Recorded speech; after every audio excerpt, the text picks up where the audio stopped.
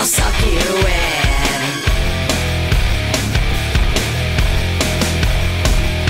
I'll suck you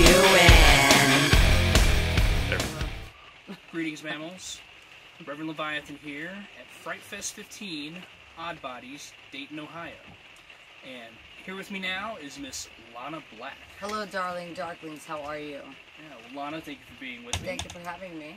And, uh, well, I'll be perfectly honest. Uh, until this tour, I had never actually heard of you, but just saw you on stage. Awesome performance. Thank you so much, Reverend. So, uh, what can you tell us about you and your band? Well, uh, I started writing my album five years ago, and um, I became Lana Blac Limited, and um, started writing one song, and then I figured I would do an EP, and then from the EP it became an album, and I got my band together this summer, and they're fucking amazing, and we've been rocking on ever since. It's magic in the making. Everything that's happened in this past year has been happening from the universe up above. Awesome. And uh, you know, I've heard a couple people they classify you as I've heard gothic metal, I've heard shock rock. So, but I always like to ask the artists themselves, what do you consider your genre? Well, my genre is like, you know, basically pop, pop rock, metal, hard rock, rock. It depends on how you like how you take it when you listen to my album. It's something for everyone though, which is what I can say. It's called Nocturnal for a reason. I'm a vampire, I'm a bat. You know, I fly through the night. My favorite one of my favorite songs on my album is In the Darkness and um, if you downloaded my album, you're going to hear that, and you're going to see some show in the springtime because I'm planning on touring in Europe and Japan and wherever else. So, Awesome. And well, you said you're a, a vampire and all that stuff. So, what, where do you get your inspiration for, say, your lyrics? my lyrics is everything that's that I've been through in my entire life. I write from the heart, from the soul. There's nothing that you can't write if you write from your body, from everything you've experienced in your entire life. You don't pull it from thin air, you pull it from life itself. Everything you've gone through, you pour it into your music.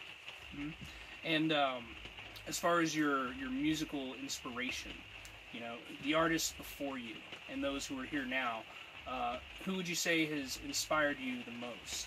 Uh, Marilyn Manson, um, Rob Zombie when he was White Zombie, and Ozzy Osbourne. I mean, Alice Cooper. I'm into horror, and I followed them all my life. Basically, all the fathers of shock rock. Yes. The shock. All the gods of rock and metal I followed my whole life. So Awesome. yes. And uh, well, here's a random question. Since you're talking about vampires, uh, what would you say your favorite vampire movie is? Oh my god. Well, you know it's funny because for soundtrack wise, I would say Queen of the Damned. Okay, but from Dusk Till Dawn, I'd probably say hands down is one of my favorites. Um, but if we want to go like uh, for comedy, I would say Abbott and Costello meets Frankenstein and the Wolfman.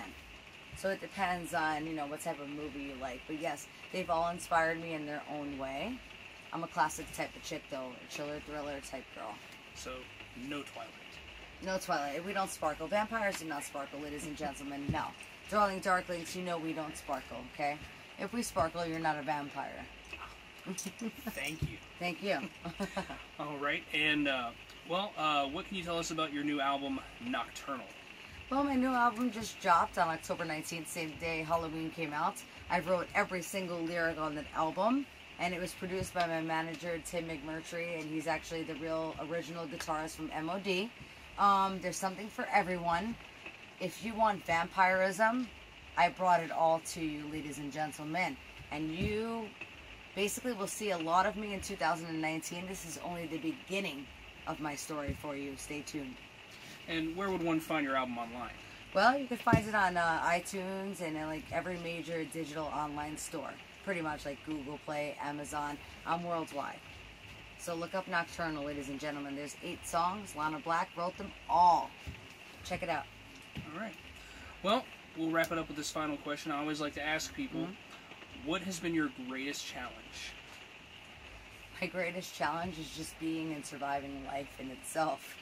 Um, just like, you know, when, when something happens, like in your life, no matter what path you're on, and like it's like a clusterfuck of bullshit, you have to keep on pushing, keep on trucking. If you believe in yourself, you're going to get very far in your life. But if you have doubt, you'll get nowhere. You always have to believe in you. Why should anybody anybody else believe in you if you don't believe in yourself? You keep on picturing that goal that you want, and you will have it. You will succeed.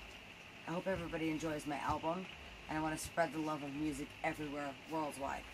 Thank you so much. Words of wisdom from, the vampiress, Lana. Can I suck your blood though, like or something like that? Do I get anything out of this interview or anything like that, or any Well, type of pints of blood, or you know? Uh, I'm type hell no. So I don't well, I'm Type O fucking negative Peter Steele. Can, oh, So if you're part of that too, then maybe we could talk. yeah. You can suck my uh my cameraman's blood. So I think he uh, wants me to do that to him. Yeah. I feel it. I feel it. I feel it.